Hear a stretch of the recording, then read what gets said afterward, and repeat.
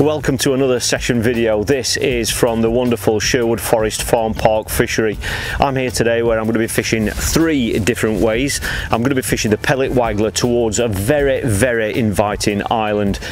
Later on in the session I'm then going to be looking at the top kit plus two line and then I'm going to be looking down my left hand side where I've got a really long margin.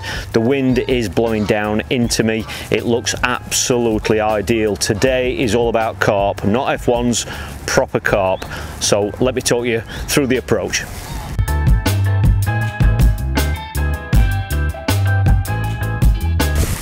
Now the peg that I'm fishing today is about 20 metres wide. It actually opens out onto point of an island and that's where there's a beautiful overhanging willow tree as well. And that's where I'm going to be targeting carp on the pellet waggler. It's relatively shallow over there but I'm going to be pinging 8mm pellets over there and that's how I'm going to kick off the session and then later on towards the second half of the session I'm going to be coming to a top kit plus two line where I'm going to be fishing on the deck with pellets and corn and then right at the end of the session the final stage will be going down this left hand margin which is quite a long margin I'm going to be going about 10 meters down there and I'll be feeding that in the second half of the session where I'm hoping we're going to catch some proper fish.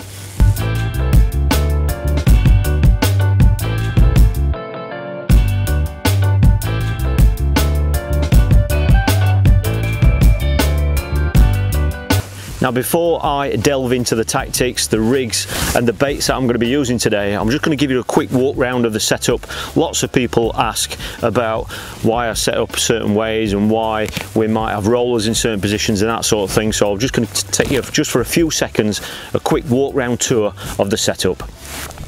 Well as you can see we're on a bit of a road here on these pegs here you've got the road right behind you so you can drop your kit off at your peg. But as you can imagine this is not a match so there are vehicles going up and down. So that is why I've kind of set my rolls up rolls up in the way that I have. So there's the peg. As you can see we're on platforms here 20 meters to the point of that island where that beautiful looking tree is really standard setup for me as regards the side trays. Okay so I've got a bite side tray here. In this tub here I'm going to be pinging 8 mil pellets. There are or that can hold 8 pints of pellets. So I've got plenty of pellets there to hand. As you can imagine when you're pinging pellets you can go through quite a few and that just means I've already got them there ready to hand and they're in a super nice safe um, stay dry kind of a container as well if it starts raining. In this pack here I've got some they're just some pole hook lengths um, some pole gear basically basically bits and bobs of stots, um, some pole cups and that sort of thing. In there is a selection of pellet wagglers, which I'll show you in a moment because we might be changing different wagglers. A couple of catapults. When you're pinging pellets always have spare catapults ready because obviously it's quite easy. They're so active you might be feeding a couple of hundred times a day. You want to make sure you've got spares with you because if it was a match you wouldn't want any downtime very simple bait tray okay? So I've got 8 mil pellets. These are just Coppens. You can use your own pellets at this venue. So I've got um, plenty of those with me. So they're 8 mils. I've got some corn which I'm going to be feeding down that margin and on the 5 meter line about there.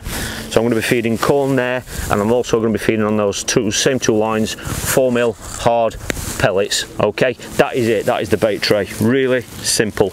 Got the landing net to handle I've got the carp landing net set up the carp one ideal for this sort of fishing.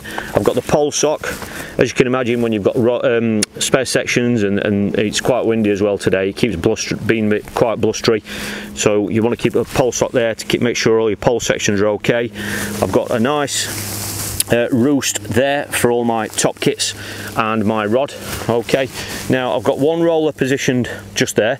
That is the quad roller which I'll show you. And that's positioned there so that when I'm fishing that top kit plus two line it's dead easy to swing two sections round straight onto that quad roller. It's downwind as well.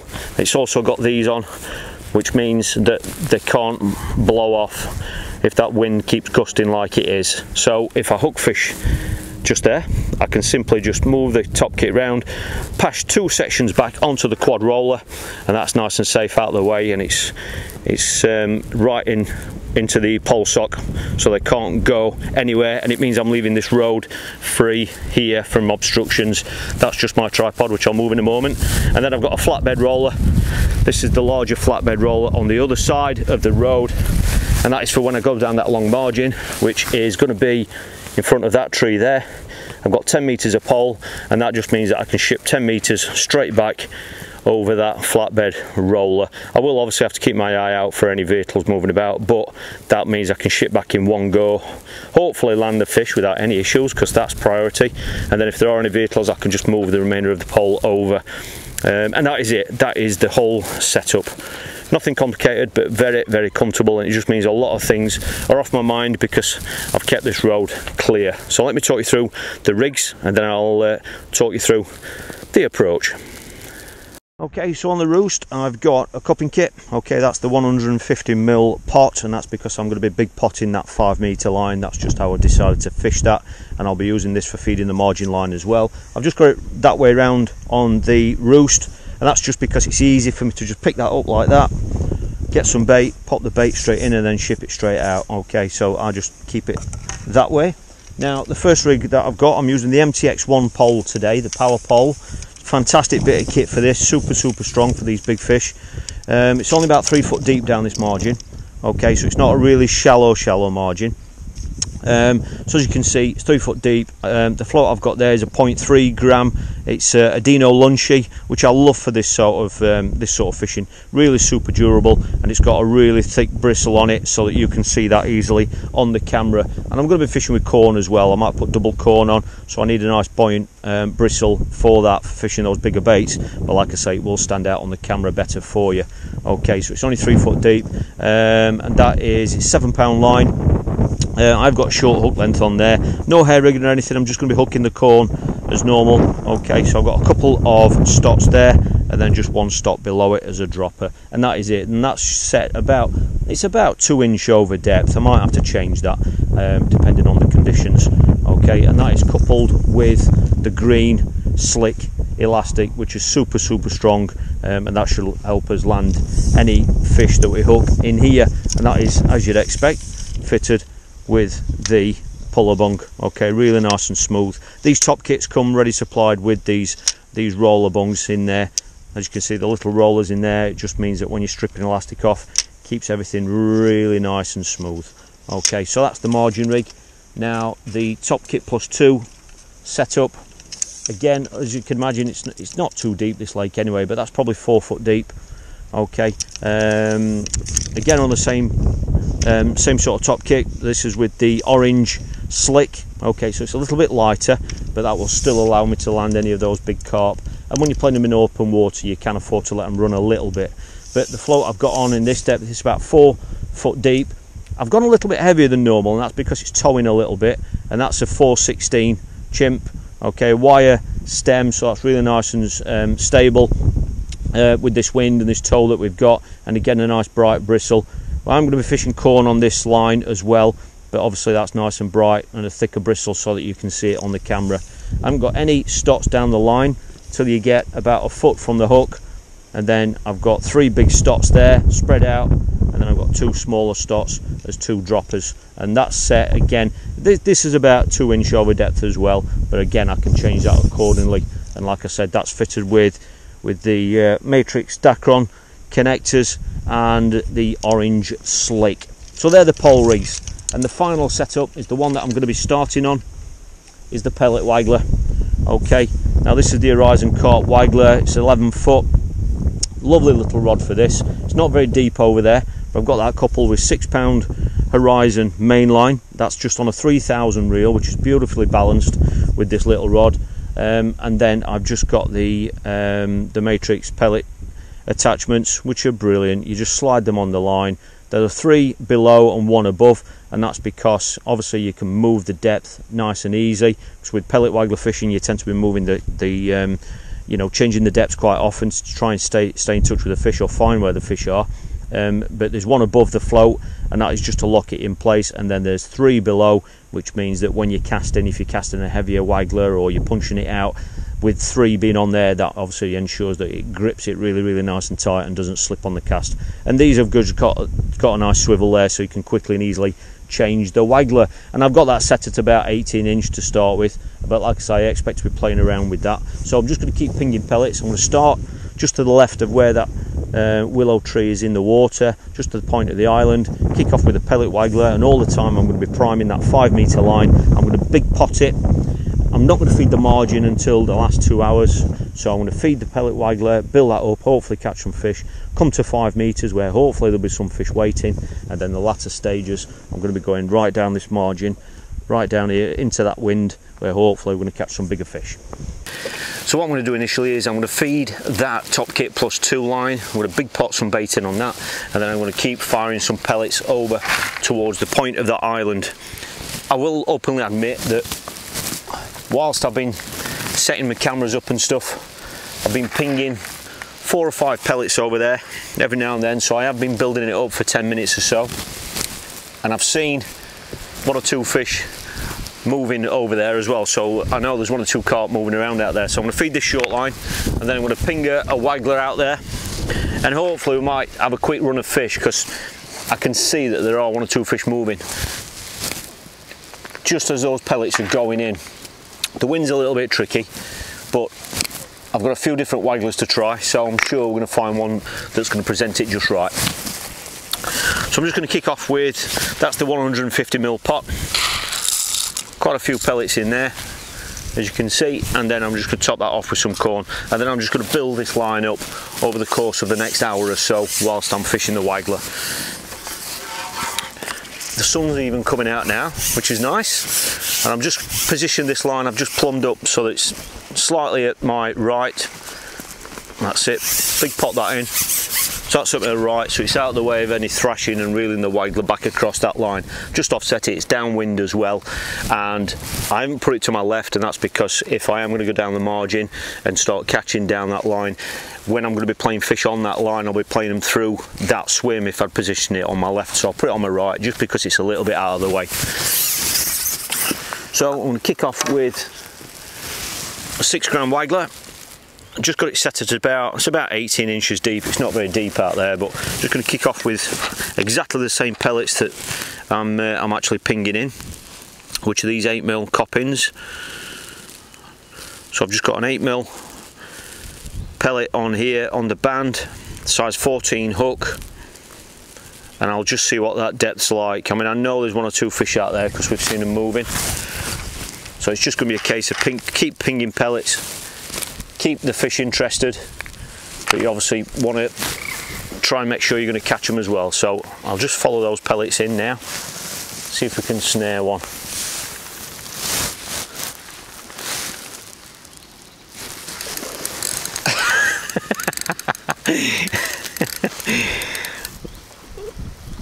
Well I think that worked. Looks a good fish too. That literally it was almost as soon as it hit the surface it's a very slow fish this one. Just got the drag set on the reel. I do like the back wind on as well because I like to play them on the back wind, especially when they get round the net. But I have, you could probably hear the drag slipping or the clutch. But yeah, this feels a, a nice fish. But that took it straight away. I've been feeding pellets out there for 10 minutes and that's normally what you do in a match you try and build that build that swim up so that when you went on it it wouldn't take time to get it going or give the fish confidence. You'd like to think that they'd already got confidence as soon as you go on it. I'm pretty sure it's all carp on here. Yeah it is a good fish. Size 14 hook like I said just that 8mm pellet and depending on how quick we'll land this if I was playing this for a while I would ping some more pellets out there just to set up that last fish but I've got a feeling as big as this fish is I've got a feeling it's uh, it's not going to take long to land it. It's just really dogged nodding away. So I'm sure we can land this one pretty quickly. There we go. Big powerful fish Let's have him. There we go. What a fantastic start. So what I'm going to do now is just before I unhook him, I'll ping some more pellets out there and try and get the next fish lined up. I want to feed just enough to keep the fish interested, but I don't want to feed too much so that it takes me a longer to get a bite. You know, you're almost kind of not starving them on the hook, but it's very similar to that. I just want to make sure when I do go out there, we're going to catch straight away. And as you saw that one, you know, it was straight away that one.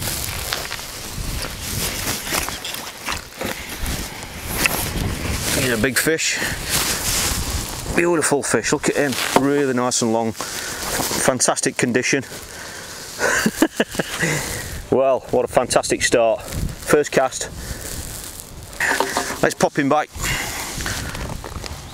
I had got permission to use keep nets today because this is a, obviously a, a feature video but I decided not to just because I'd hoped we were going to be catching fish like this. So I'll sacrifice a catch shot for making sure that these fish are going to go back straight away. There we go. Fantastic start. No need to change anything. Just put another pellet on feed again, try and line up the next fish.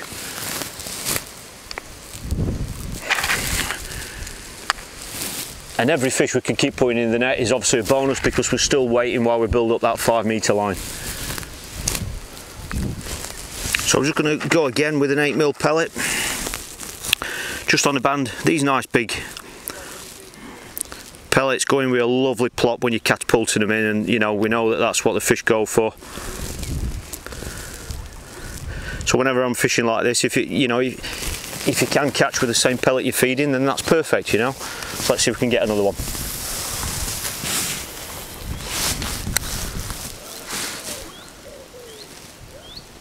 Good thing with pellet wagglers, you can see the float so easy, especially against that dark green background.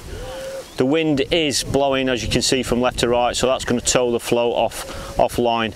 I don't want to start trying to flick the line under to sink it. I think this is going to be a very, that was a fish move just past the float then. It's a very active way of fishing and I don't want to do that because when the pellet goes in I want it to be as you know as, as, as natural as possible just as though it's a loose fed pellet and I'm quite willing to just keep casting every few seconds so that the uh, the wind's not going to drag the waggler offline. There we go. Well, that bolted off straight away. Nothing. Quick tug on the on the rod tip. Really exciting way of fishing. So it's took the pellet as well, amazingly. But it's good that there's some fish there. There's one or two top anglers that have always said lads that fish it a lot more often than I do that they love the pellet waggler because it, it usually rewards the more active anglers and you can actually work at it and that's what I love about it. Let's see if we can nick another one. Let's go slightly to the point of the island this time.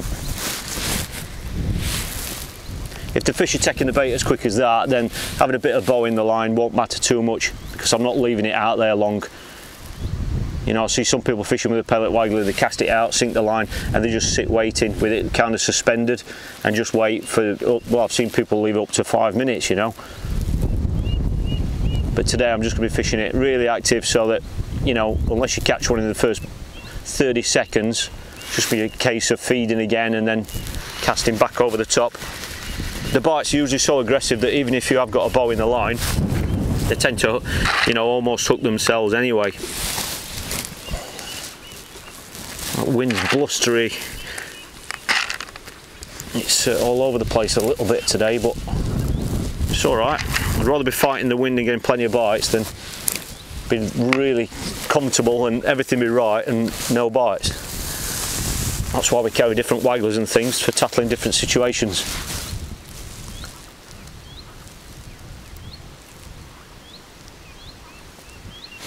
There we go very, very aggressive. It's shallow water over there and that's why when I'm hooking them you can see all the water kind of erupt. There are fish milling all the way around there. As you can see there's that big um, willow tree on the right hand side. It's fantastic cover for them. But I've also got open water to the left which is obviously where fish can back off to but the wind's coming from that direction as well so everything is looks absolutely ideal this one doesn't feel as big as the last one, but very welcome. Very powerful fish in the shallow water. There we go. Another beautiful fish. You can see how they rack up the big weights on here. There was a match here yesterday. They have matches here on a on a Wednesday, open matches, and that was one with 100, 130 pounds yesterday. That was just down here to my left. For those that know the venue, I'm actually fishing peg 39. The match was won on peg 34 down there yesterday. That's a long fish. Not as big as the other one, but still got loads of energy. He doesn't want to. I'm not going to get a chance to hold you up, am I? I'm not, no. I don't want to risk uh, hurting you. There we go. He's got his fins up. Beautiful. Let's see if there's some more waiting for us.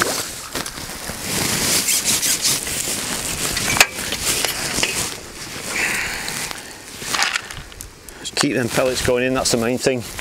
Got to keep them interested, got to keep them competing as well, because that's how you catch the, yeah, I can still see the odd fish moving out there as well now. Keep a few going in, just three or four at a time.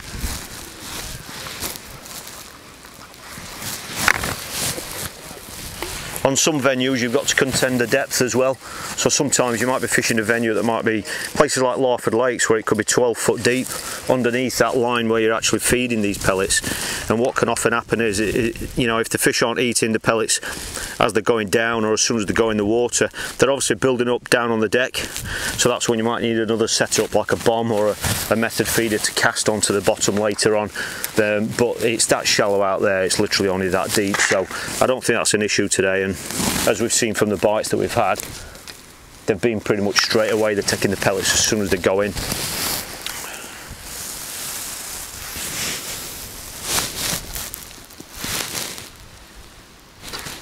There we go, they're really waiting for it now. That one's gone underneath the willow tree. The willows are great to fish under sometimes because there's nothing really underneath them. It's just an overhanging tree basically not like some features where you might you have overhangs but there are actually roots and things underneath as well. So you know I don't mind fishing to willows like that. They're fantastic. This one's kited to my left a bit. We'll play him in that way until he comes up nearer to us. See that drag doing its job.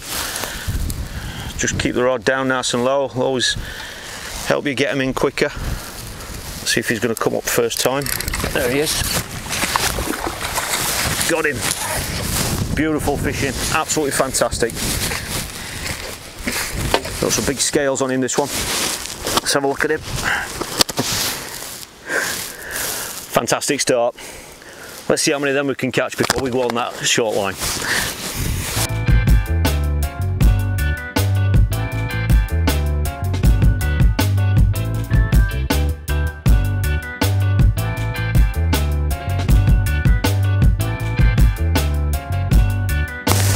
So I've been priming this line as we know.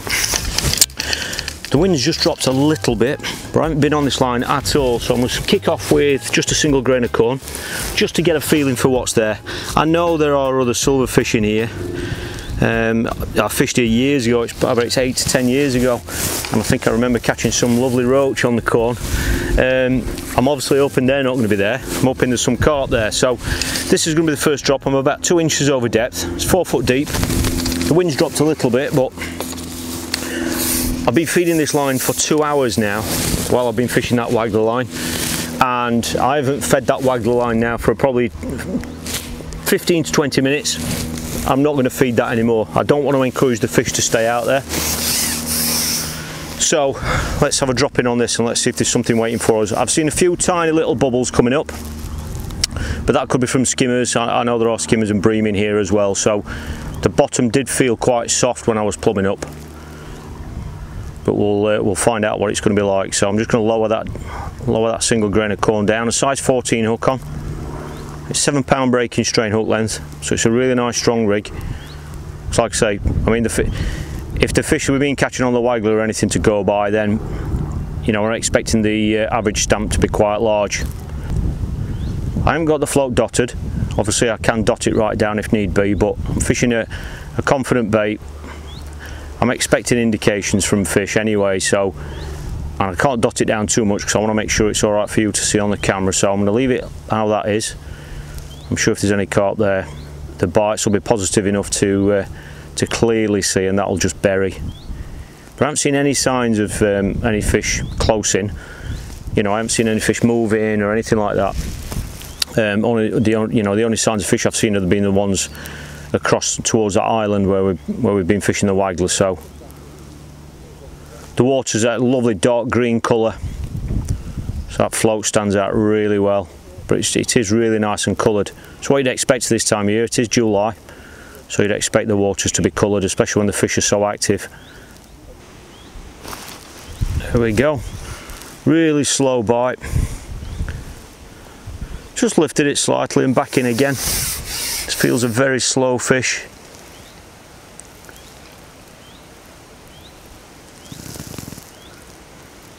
Not sure if it's going to go on a run or not. It's just kind of holding his position at the minute. Slowly inching out to the middle of the lake. Feels a heavy fish this one not a really confident positive bite like I expected. It was just a very slow, slow pull under. I'm not sure if he's not going to go on a run. Let's get him back to the top kit. Put the pole section safe.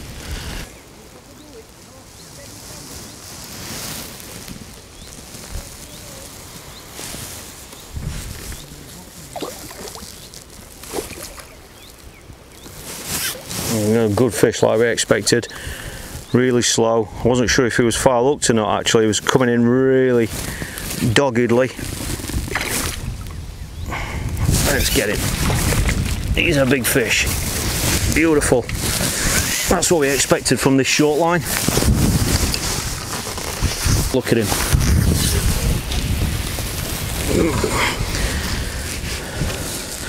Beautiful fish you know and that's the beauty about this elastic this elastic will capture them you know you can land two pound skimmers bream anything like that even big roach. But obviously when big fish like this come along it's got enough backbone in it to land these fish as well. So I'm not sure if I'm going to be able to hold him up properly for you but there we go. What a stunning fish. Look at that. Long fish. Fantastic Well, that was a beautiful fish to kick off with. Like I say, I've been priming it for two hours now, that line. It's uh, quite a deep part of the peg as well, so thankfully all that disturbance from catching the fish on the uh, pellet waggler has not um, has not disturbed them too much. So let's have another drop in, see if we can snare another one. Didn't have to add any sections either to that. I mean, that was easy, a double figure fish, 10, maybe 12 pounds didn't have to add any sections on once I hooked it.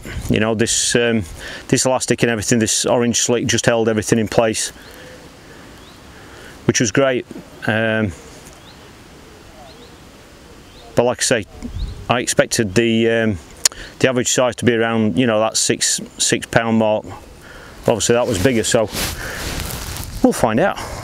Let's have a uh, see if we can uh, catch another one. I've just, well as you saw, I topped it up just before I unhooked that fish. I topped it up with a few more pellets and um, some more corn. I'm only putting 4 mil pellets, hard pellets on this line and, and sweet corn as you can see. Um, and then I'll be feeding that the same when I go down this margin line to my left which I'm going to do shortly. I'm going to feed it before I go on it so I'm going to feed it half an hour before I go on it. So I'm just going to fish this out to be nice to catch another fish. And regardless whether I do or not I'm going to uh, feed that margin line. It's 10 metres down to my left hand side towards the other platform. I'm not right up to the other platform. But I'm prime it half an hour before I go on it. So uh, when I fish this out I'm going to prime that line give it half an hour and then we'll have a look down that margin see if, see if we can catch some big fish down there. That was a much much faster bite that you could have almost said that was a, a line bite. This is a much more active fish, this one. Yeah, you could have said that was a line bite, to be honest, it was that quick, but the fish is on. Much quicker, this one. Swimming much faster than the last fish. Let's see if we can get it back to the top kit pretty quickly. Don't think it's a massive fish. Put that pole section safe on there. Beauty about this sort of elastic you know you can just get back to your top kit and then you're almost just playing it with the um, with the side puller. You know you can just adjust the attention accordingly.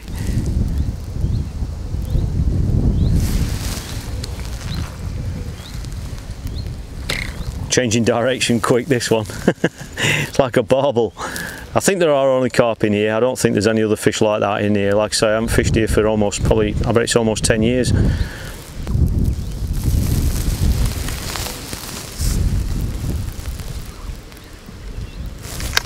Oh, he's come off that one. Like I said, I don't know if it was hooked right or not. The bite did look like a foul, a foul hooker with it being so fast, so quick. No signs of it being foul up. No scale or slime or anything on the hook. I'm going to go in now without feeding. I don't really want to feed it straight away, but it's not long since I've actually fed this line, but let's just see if we can get get one.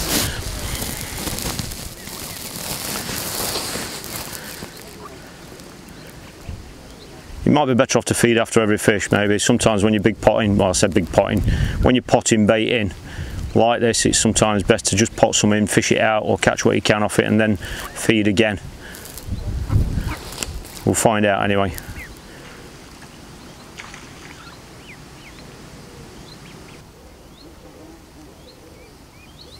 There we go. Little indication I was just considering whether to feed again. I was just considering it. And then the float buried. A quick bite but it looked like a clean bite. Not a big fish. It'll be interesting to see what it is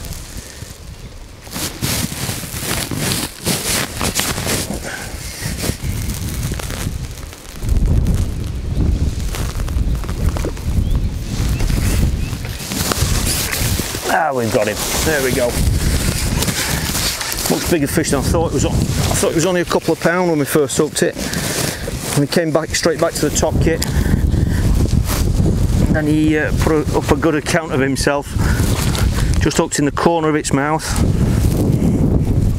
Firmly in as well. Got some lovely big scales on him. Still got loads of energy. Not sure if I can hold him up for you, but let's have a go. Hang on, pal. no, he's not going to let me, I don't think. He's not going to let me but you can see it's another good fish. Really big mouth look at the size of that mouth on him let's pop him back he's got loads of energy. And this time I'm going to feed now. I'm going to prime that prime that margin line now. I'm going to put another feed another pot of feed in on this line. See if we can catch another fish. Be great if we can within the next five minutes or so and then I'm going to have a look down this margin and see if we can catch down this side so let's see if we can get one more on this line and then we'll have a look down this margin.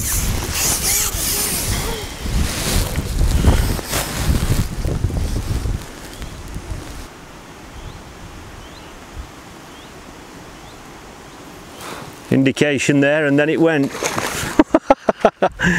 wow. Well, it looked like a liner at first. It, there was an indication, then it lifted. Sometimes that's what you get when the, thing it is, it's a bream. He's making some disturbance.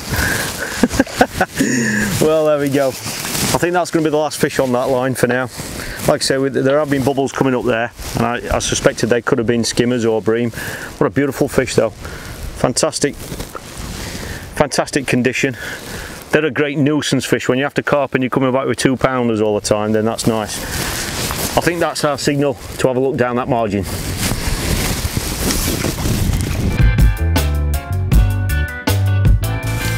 Well, it's half an hour since I fed that line.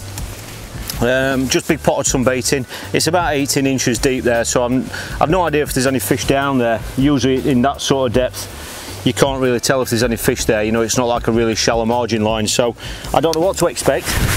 But I'm going to go down there with a single grain of corn on. That wind's got up a little bit, so I think that's going to affect um, presentation of the float but like I say it's 18 inch deep and I, I have aired on the side of caution and put a slightly heavier float on it's 0.3 gram. So hopefully that's going to be able to allow me to present it properly. Like I say I'm fishing about it's about 10 meters down down this margin. I might have to shorten this line to be honest between um, pole tip and float. It looks a little bit long now but we'll find out when I start fishing and get get the rig out there.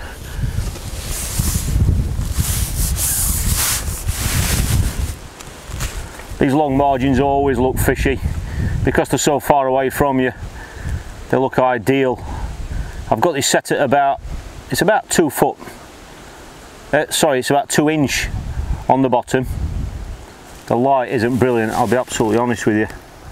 Hopefully you can see this float on the camera all right. If I put it about there, I could just about see that all right. It's against a white sky, white background, and it's a red float, so it's not ideal. Could do with a black top float on it, to be honest, but I think it'll just be about all right if I can hold it there all right. That wind's coming down, it's coming down the bank towards me, so I might have to shorten that that line between the float and tip, but we'll find out. Hopefully they'll not be finicky if there are some fish there.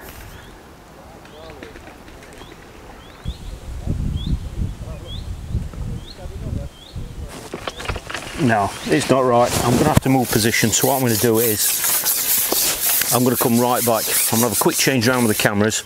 So I'm going to switch the cam switch the cameras over. I'm going to fish shorter. So I'm going to fish about six meters down the bank where I can see the float better. I think the bottom's clearer there. I'll set the other camera up for you. I'm going to start that other line up before it gets too late. So I'm going to feed that line and I'll just have a quick change over with the cameras and I'll see you in a moment. Well, I've had a quick change around now with the cameras and I've come back to I'm about six meters down the bank now so it's much easier for me to see to control. And once again it seems like the bottom is pretty clean. So yes I had fed further along the bank at 10 meters so I've now got two spots that have been fed down this margin. But just for the sake of filming I'm now I'm now on a, going to be fishing a line that that I would have selected in a match. Had I not been filming this, if it had been a match, this is the line that I would have, or the spot that I would have fished. So I'm just going to have a metre or so of pole under my arm as well, maybe a bit more, just in case I hook a, good fish. So I'm going to be fishing just there. So I'm not going to go really, really tight into the bank. See, it is a little bit messy just there. You know, there's one or two bits of twigs and stuff. I think feels a bit uneven. So I'm just going to fish there. I only fed this 15 minutes ago, so it's not like it's had an hour or two to prime or get the swim ready as such. But hopefully the time of day is right. It is pretty quiet there. There hasn't been any disturbance for a while, so let's just hope. There we go. Oh, that was an indication straight away. Which is encouraging. That wind's just died down a little bit at the moment, but that's much better for me to present it there. And hopefully it's alright for you on the camera as well. That was an indication first drop. Again, I've just fed it exactly the same. Some 4 mil hard pellets. I put one, a few eights in there as well because that's what we were catching with on, on the waggler.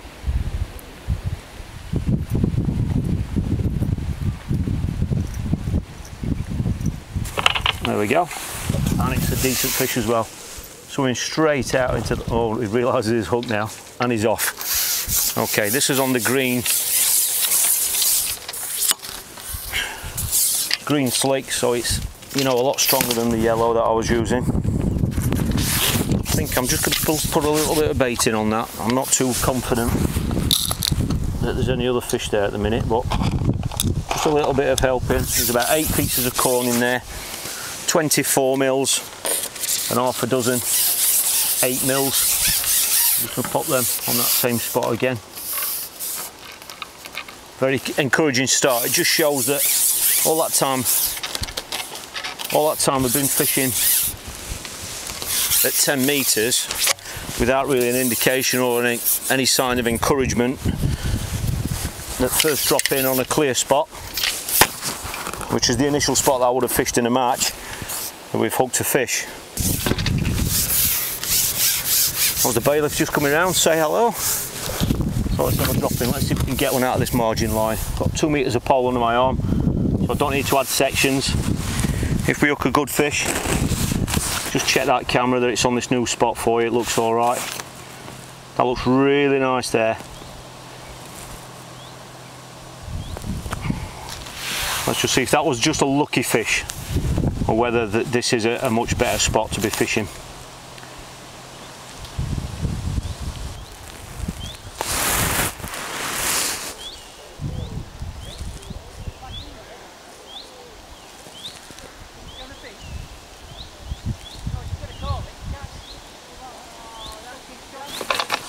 Go. Just lifted it.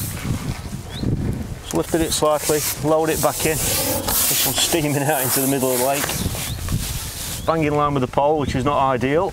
I want to try and keep an angle on it, but that's a little bit difficult when it goes in that direction.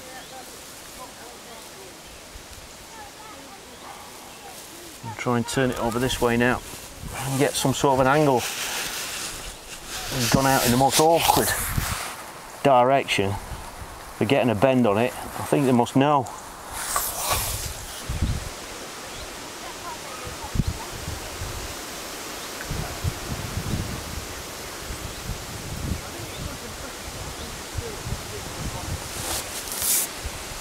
Is off. Don't know, no idea if that was uh, hooked right or not. I haven't got a clue. But it felt a good fish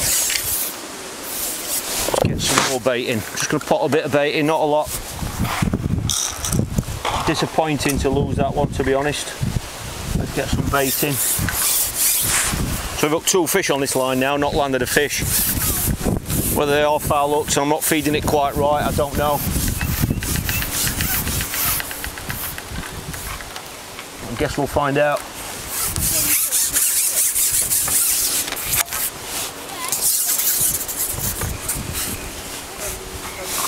I'm going to go straight over the top of that. I'll make sure I see him to get on the pole out of the way. I'm going to go straight over the top of this, straight over the top of that feed. Well, changing the spots worked and the feedings worked, or the type of bait anyway. I'm not sure if I'm fed it quite right. We'll see how we go this time.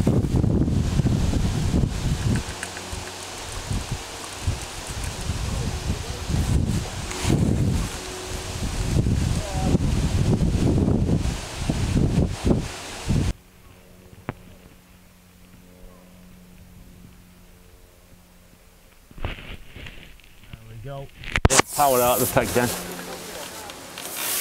I've got to admit that that didn't seem as though it was hooked right either.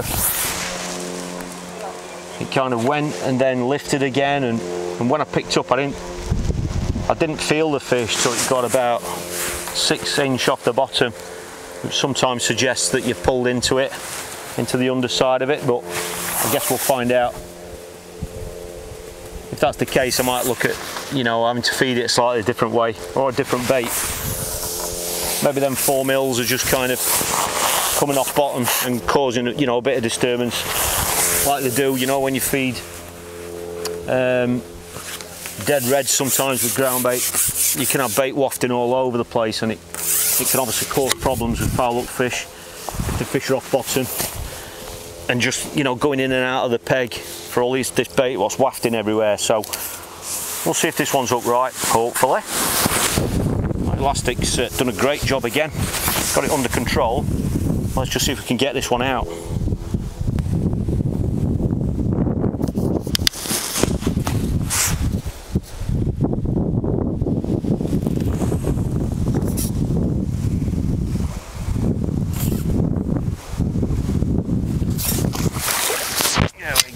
Lovely fish. Look at the colour of him. What a beautiful fish. Took some getting in, I've got to admit. Gave a really good account of himself. He's hooked just underneath him so I'm going to change the way I'm feeding I'm going to start feeding 8 mil pellets now and just corn I'm going to cut the 4 mils out it's obvious there are some fish there coming to the feed but maybe those pellets are flying around so beautiful looking fish get him stunning colours. Fantastic margin fish. Look at the size of the mouth on that.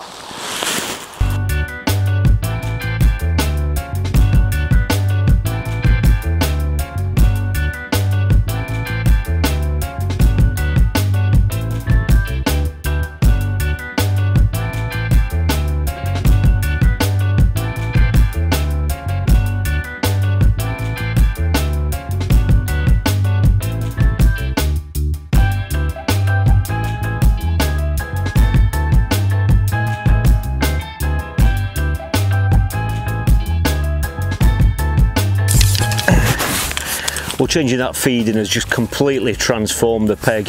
I cut the 4 mils out, just feeding 8 mils, hard 8 mils and corn and that is it. I think it's just pinning the bait down much easier when the fish come into the peg.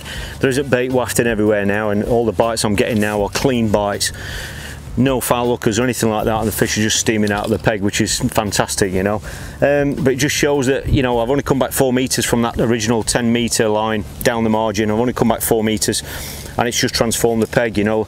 The bottom's much clearer and that's why it's you know so important to you know make sure that when you're going to fish down a margin that you're going to make sure it's clean it's flat and all that sort of thing. That's how critical it can be but it's been a fantastic session of course on everything. If you'd like to see more videos that go more in depth about a lot of these tactics and the bait choices and that sort of thing then you might want to check out my other channel Patreon TV the link is just there and that is where you can get up to 10 extra videos each month. But it's been a, good session. I've enjoyed it. If you've enjoyed it please give it a thumbs up and don't forget to hit subscribe so you don't miss out on any of the future videos. This is a day ticket water. I'll put all the details below in the description box for you, but it's been a great session. I really enjoyed it. Thanks for joining us, and I look forward to seeing you in the next video.